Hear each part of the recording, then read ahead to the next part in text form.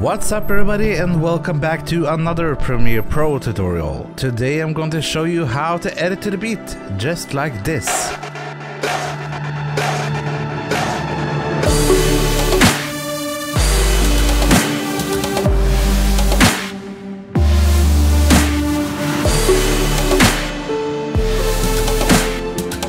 If you are new to the channel, please consider subscribing. I got a lot of filmmaking and editing tutorials coming up, so smash that bell!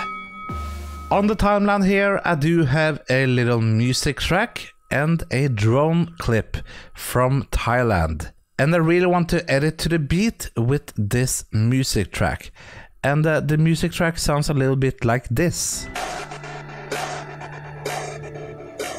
So I really want to make a cut on every beat in this track to move forward in time. And you can do this in any video editing software, but I'm going to show you this in Premiere Pro. So what I like to do is to expand the music track. So drag this right there and uh, you can see the beats more clearly. So now we can see we got a beat here, a beat here, and a beat there. But you also have to listen to the track carefully. So the first cut I'm going to make is going to be right there. It's really good idea to zoom in so you can clearly see the beat dropping. So I'm going to select C on my keyboard for the cut tool and I'm going to cut there and then I'm going to move a little bit forward in time. Maybe around there and make another cut and then select V on my keyboard select the clip in the middle and hit delete. And I'm also going to delete that one so the clip is going just like that. So now we have our first cut to the beat. Just like that. And let's move forward on the track here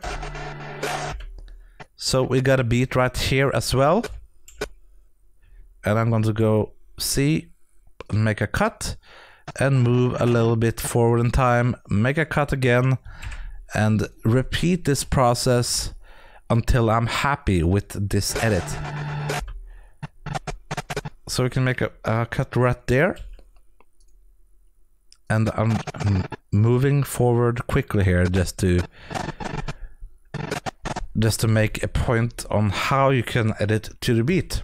And there's so many things you can do with this. Uh, it's uh, up to your personal preference, really, on how you really like to to edit to the beat.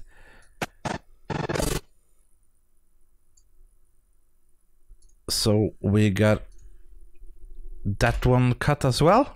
And uh, let's take a look and how this looks.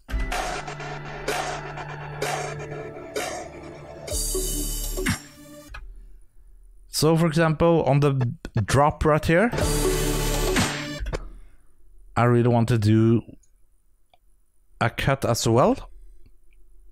But this time, I'm going to go really fast forward in time, make another cut, and this is just up to my preference. So I'm going to select R on the keyboard to uh, select the rate stretch tool. And if you haven't watched my tutorial on how to use this tool, I will leave a link in the card right up here. So I'm just going to drag this to around there so it's a fast forward motion and uh, make that just like that and now we have this little sequence with some cuts to the music.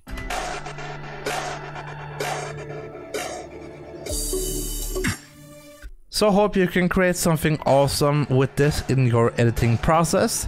It's really fun to play around with. So if you enjoyed this video, please hit that thumbs up and subscribe. And I will see you in the next video.